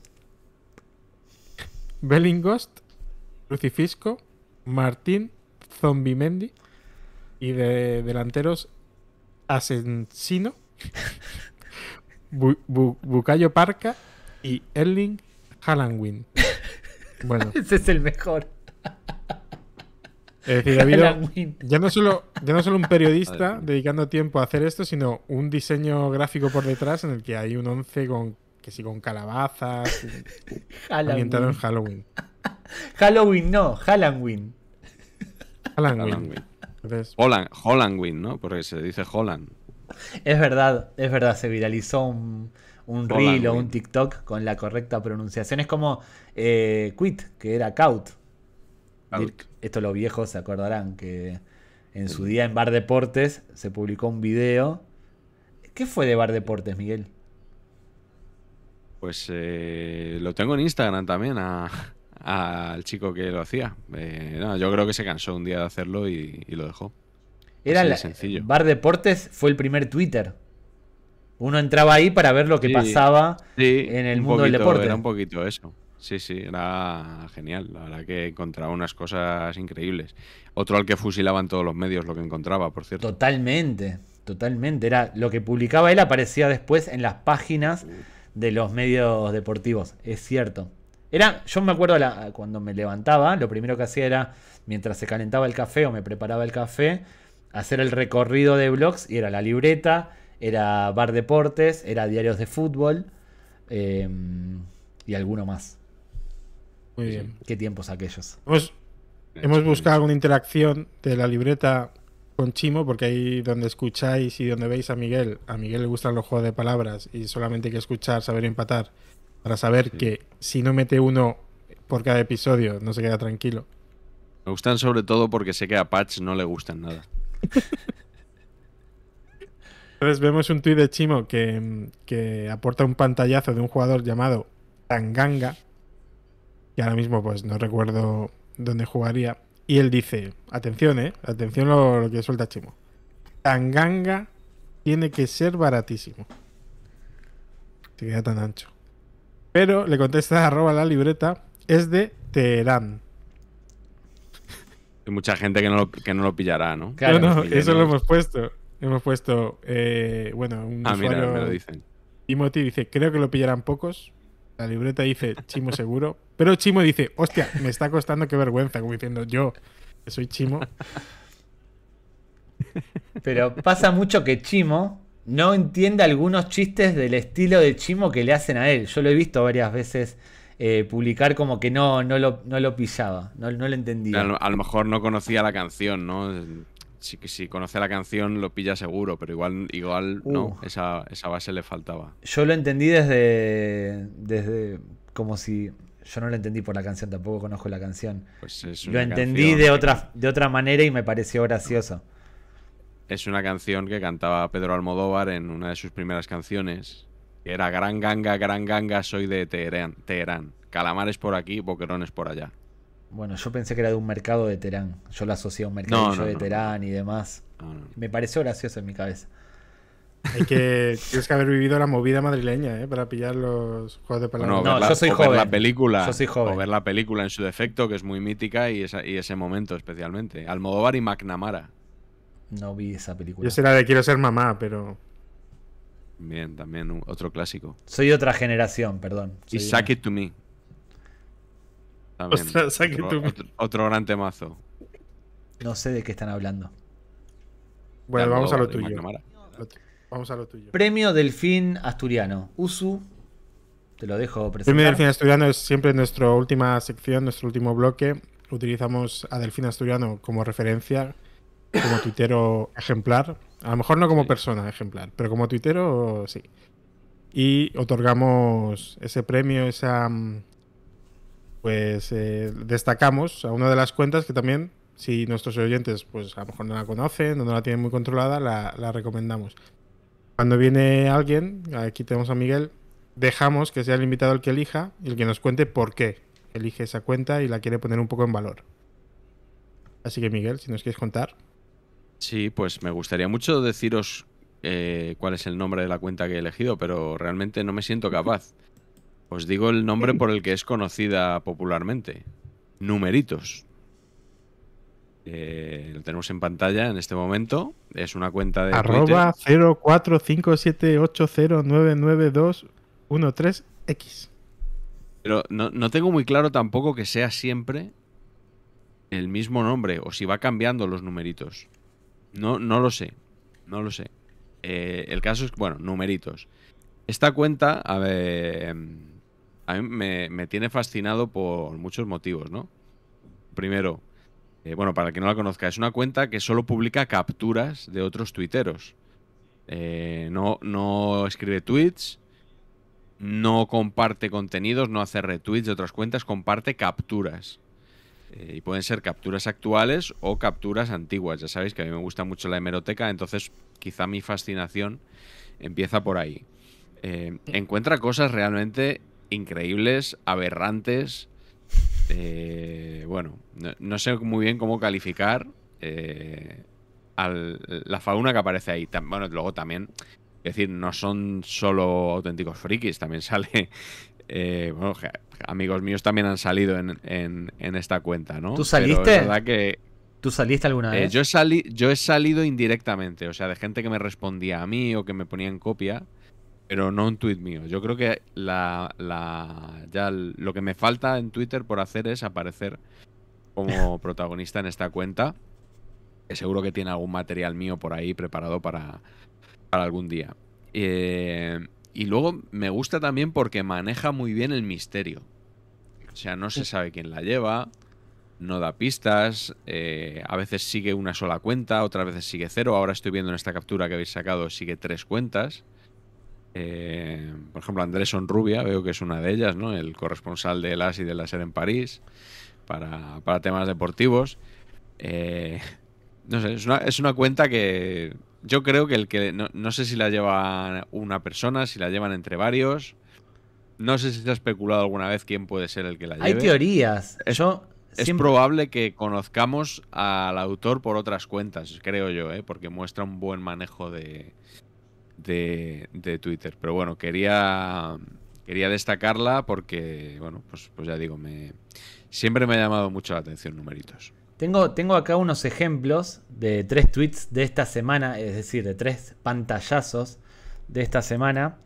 El primero tiene como protagonista a Fonsi Loaiza, eh, que tuiteó el 25 de octubre, ha fallecido el capo Fernández Tapias, vicepresidente del Real Madrid y mano derecha de Florentino. En los audios reconocía que utilizaban el club blanco para sus negocios y en el tweet se ve como Fonsi había insertado un video de los audios del, confidencial.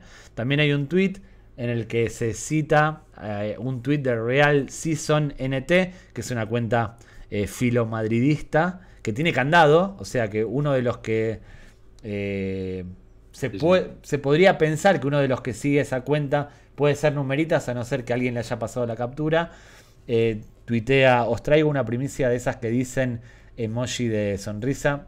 Hace unas tres semanas una representación de la Premier League planteó al Real Madrid una posibilidad de jugar en la Premier, asegurando que sería viable legalmente para ambos países. Fue un primer contacto que el Madrid va a estudiar. El informante o la fuente es la misma que Gerard Romero. Seguramente. Yo espero que, que, sea un poco como lo que contó en su día Roberto Gómez de Jesús Navas. O sea, como que le montarían al Real Madrid un dispositivo especial para que entrene en Madrid y juegue en la Premier. Sí, sí, porque Real Madrid tiene lo que se decía que tenía Jesús Navas. Y el último tuit que seleccionamos es una respuesta de Sergio, arroba ciclismo 2005, eh, a un tuit de Telefónica que decía, hoy te contamos algunas curiosidades sobre uno de los edificios más emblemáticos de todo Madrid y del mundo, emoji de risa. ¿Conocías estos datos sobre el edificio Telefónica? Y Sergio, siempre punzante, eh, responde, durante muchos años hubo putas en sus inmediaciones de las baratas y callejeras. dejando la interpretación del tweet eh, a cada uno. De nada, nada, nada explícito. Yo quiero aportar dentro de lo que estaba contando Miguel, ¿no? Del misterio y de que nunca se humaniza. Sí que quería recordar, porque sí que llegó a escribir una palabra, un tweet el año pasado, pero no recuerdo ahora el qué. Quería, quería aportaros que yo tengo en el DM una conversación con él desde que es de 2019. La conversación es, él me manda una foto, yo le contesto con una foto, él me manda una foto, yo le contesto con una foto, pero que a lo mejor él me contesta a la semana, yo le contesto al mes, y llevamos así, pues habrá como 300 fotos. ¿Puedes mostrarlo? ¿Lo puedes mostrar a la cámara? A ver, a ver, lo que voy a, coger alguna que yo no haya hecho nada. Esto para que, para que la gente que nos está escuchando en Spotify, iVoox, Google Podcast, donde sea, si quiere ver lo que va a mostrar usuario David Acosta a pantalla, va a tener que venir a YouTube, suscribirse, darle like, comentar y activar la campanita. Muestra, Usu, por favor. No, no monetiza. Bueno, voy a, he bajado un poco de scroll. A ver. No, sé si se ve, no se ve muy bien. Bueno, por lo pronto no estás enfocando la cámara. No estás enfocando la cámara. Se, ve, ahí. se ve la... Arnold. Se ve ahí la cuenta, ¿no? Sí, sí, se ve. yo le pregunto, yo le pregunto ahí, le pongo bros, porque creo que son dos. ¿Tenéis a mano el tweet de Paul Centollo? Por Tenorio. Y la tercera guerra mundial no lo encuentro. ¿Y ellos? Me pasan el tweet. O sea, trabajan, bajo demanda también. Pero luego la imagen que me mandan no tiene ninguna relación con nada. Es el perfil de una cuenta eh, de la que publican muchos. Sí. Sí, eh, pero, pero. Es decir, yo le pongo muchas gracias. Y luego al mes me manda al negacionista. Enrique de Diego. Yo le pongo, se parece a mi suegro.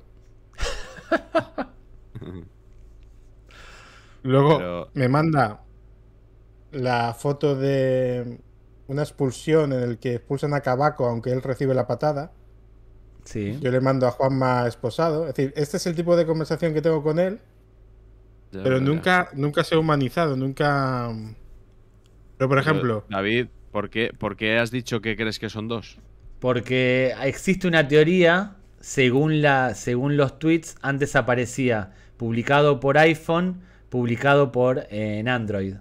Viste que antes, cuando uno publicaba un tweet, aparecía, si lo hiciste por teléfono, el medio que habías utilizado y corría, eh, se extendió la teoría de que eran dos e incluso de que el que publicaba con iPhone tenía una ideología y el que publicaba con Android tenía otra, que se los distinguía según el tipo de publicación Que, hacían. Lo que me parece muy, muy bueno, conociéndolos sin conocerlos Entiendo que lo hacían a propósito para despistar y para generar más expectativas. Te iba a decir, yo creo que es uno y que, os ha hecho creer que son dos.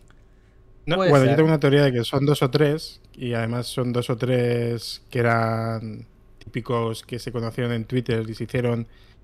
Em, no, voy a decir amigos ni banda, pero típicos que interactúan mucho entre ellos. En vez de hacer un podcast, en vez de hacer un podcast, hicieron una cuenta de Twitter. Y que antes de que existiera la cuenta numeritos, ellos ya hacían cosas como numeritos dentro de su variedad de, de tweets. Y llegó un momento en el que ellos han dejado de tuitear mucho, o más, tuitean menos en sus cuentas principales. Uno medio ha desaparecido, y el, y, pero numeritos sigue. Yo encajo en ese perfil, ¿eh? Uno que tuitea poco y que más o menos ya no participa en Twitter, pero no soy yo. Y a nuestros espectadores o seguidores los alentamos a que teoricen en comentarios sobre la, mm, sobre la persona que se esconde detrás de la cuenta de, numeritos. Yo la Tengo mis dos sospechosos.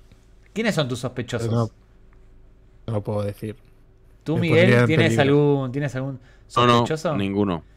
No, no, no, no, de verdad que no. Para mí, desde el desconocimiento absoluto, no, no me mando DMs con ellos. Eh, qué locos tus DMs, por cierto, Usu. Eh, generalmente los DM son de, como se dice en Argentina, de coger, no de mandarse ese tipo de cosas con una cuenta anónima, pero no importa. Fotos de cabaco. Fotos de cabaco, imagínate. Eh, para mí, para mí, Kilgore o el circo, alguien cercano a Kilgore está de, ¿no? ¿No? ¿Se lo preguntaste? No. Es otro. No, es que es otro perfil. Kilgore está posicionado. Bueno, déjame, déjame teorizar. En otra bancada. Es mi sospechoso. ¿Está mal? Es mi sospechoso. Para mí es Kilgore o alguien muy cercano a Kilgore. Hasta que no lo desmienta él, yo voy a pensar eso. Kilgore es de nueva. Otra, otra ola diferente. Estos son de, de antes. que Kilgore no es, ya te digo. Y son de otra, de otra temporada de Twitter anterior. Y con esto, con el premio del fin asturiano, eh, llegamos al final de este episodio tan especial y tan, tan divertido como leer la prensa deportiva que, fue este. ¿Te hecho corto, Miguel? Eh, sí, bueno, ah, no, sé muy bien. Eh, no sé muy bien qué decir. Eh, tanto tiempo esperando para venir a la pachanga tuitera y luego pasa volando. ¿Pero eso es bueno, o malo? Eh, ¿Te, disfrutaste? ¿Te sentiste cómodo? Es, bueno, es, muy, sí, sí, sí, muy cómodo. Eh, no habéis hecho sangre con, con la hemeroteca. Habéis sido bastante benévolos conmigo y, y nada, que, os voy a decir que encantado de estar aquí, de no sé, ya espero espero ver por aquí pasar también a, otros ilustres. Claro. Ahora empieza el tour de los que están en todos los La rueda. Exactamente. La rueda. Vamos, vamos rotando. Ahora falta que Patch y Carlos Marañón se creen su propio podcast y nos inviten y así, las, las distintas uniones y amistades del grupo este de ilustres que tenemos. Cuando anunciamos el primer invitado, aunque era Quique, todo el mundo hablaba pues de Álvaro, de ti, de Ander pensábamos.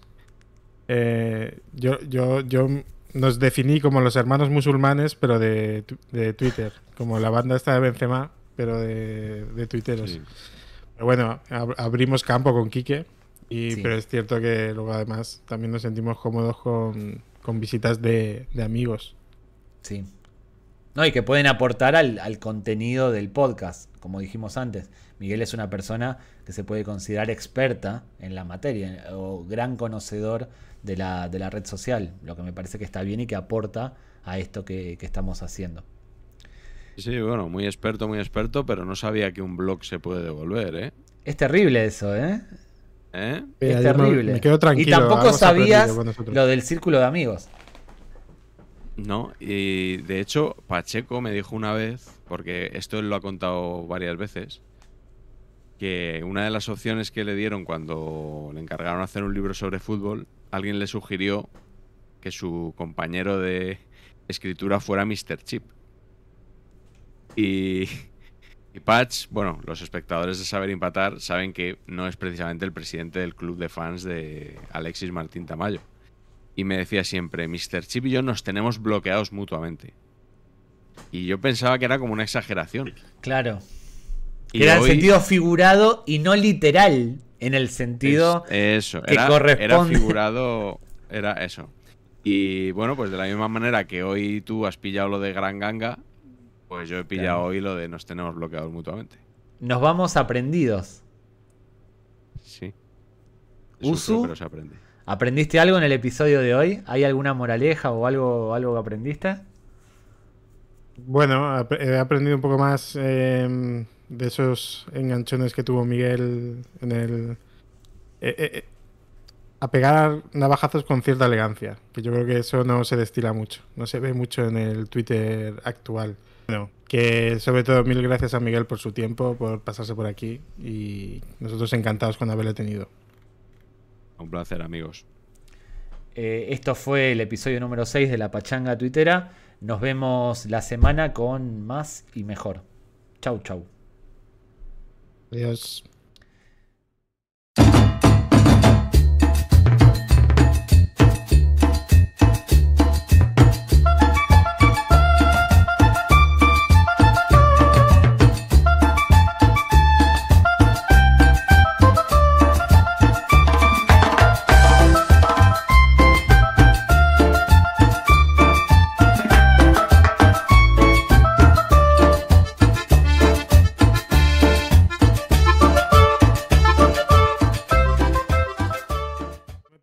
Hostias en directo, pero en Twitter no, te, no, te, dije nada, no te dije nada y cada vez funcionamos mejor. Cada vez funcionamos mejor. Somos, es un proyecto a largo plazo, lo dijimos siempre.